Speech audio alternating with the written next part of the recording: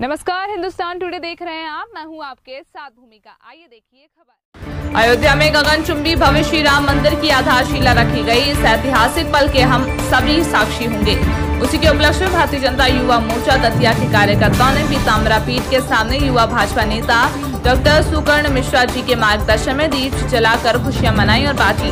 मिठाई युवा भाजपा नेता डॉक्टर सुकर्ण मिश्रा ने सभी युवा मोर्चा कार्यकर्ताओं से कहा, हम सबके लिए आज का दिन ऐतिहासिक दिन है। आओ, हम सब मिलकर अपने अपने घर पर दीप जलाएँ और अपनी गली मोहल्लों में दीप जलाएँ। आज का दिन हम सभी के लिए दीपावली का दिन है। इस दिन को हम सभी हर्षोल्लास के साथ मनाएँ।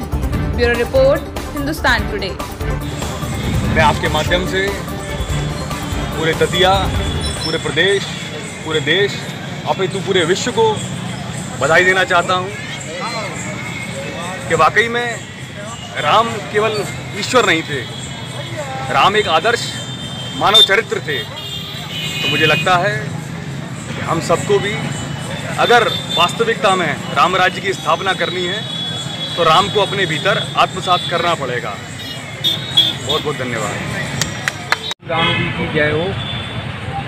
हम बड़े भाग्यशाली अपने आप को समझते हैं कि आज जो हमारे दादाजी ने, हमारे पिताजी ने और हमने तीन पीढ़ियों से सपना देख रहे थे कि कब प्रभु श्री राम जी अपने घर में विराजमान हों और हम उनके दर्शन करें।